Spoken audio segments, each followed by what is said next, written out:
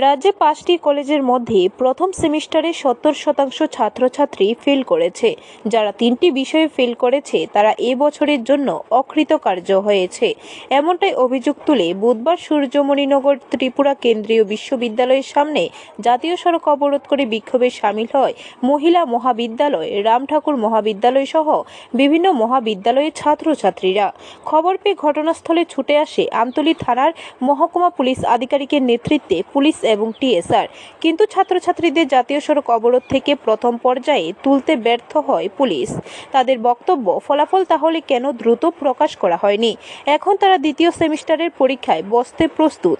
আর এই সময় তাদের প্রথম সেমিস্টারের পরীক্ষার ফলাফল ঘোষণা করে ভবিষ্যৎ নষ্ট করছে ত্রিপুরা কেন্দ্রীয় বিশ্ববিদ্যালয় কর্তৃপক্ষ। এ ধরনের ভুল ত্রুটি সংশোধন করে তাদের ফলাফল সঠিকভাবে প্রকাশ করতে হবে বলে দাবি করে বিক্ষোভে সামিল হয়েছে বলে জানান। সেমিস্টার কিন্তু আমাদের রেজাল্ট দেওয়া হয়নি। তো আমরা সেকেন্ড সেমিস্টার এসেছি। সেকেন্ড সেমিস্টার আসার পরে আমরা যে আমাদের ইন্টারনাল এক্সাম আমাদের অ্যাসাইনমেন্ট সব কিছু কমপ্লিট আমরা জাস্ট ফাইনাল মানে এক্সামের মুহূর্তে ঠিক আছে? তো ফাইনাল এক্সাম মুহূর্তে আমরা আইছি। সেকেন্ড সেমিস্টার এই মুহূর্তে এসে আমরা বুঝতেছে যে ফার্স্ট সেমিস্টার এক্সাম অ্যাসাইনমেন্ট সব কিছু আমি ইন্টারনাল এক্সাম দেওয়া হয়েছে ঠিক আছে? সেকেন্ড সেমিস্টারে আমরা ফাইনাল এক্সাম দেওয়া হয়েছে ঠিক আছে? ফাইনাল এক্সাম আমরা দিব। এই মুহূর্তে আইসে আমরা ফার্স্ট সেমিস্টার রেজাল্টে কইতাছে যে আমরা নাকি ফেল ঠিক আছে? আমরা বাড়ি করে কেউ মধ্যে বিশ্বাস করছে না ঠিক আছে? ব্যুরো রিপোর্ট খবর ত্রিপুরা।